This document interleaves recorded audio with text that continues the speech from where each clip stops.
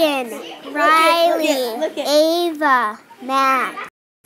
This is our final project. And Angelina forgot a cooler for her ice pop. We had 40 milliliters in our graduated cylinder. We put a popsicle in our design under a light that represented the sun. Our design was not successful because we had 40 milliliters in our graduated cylinder.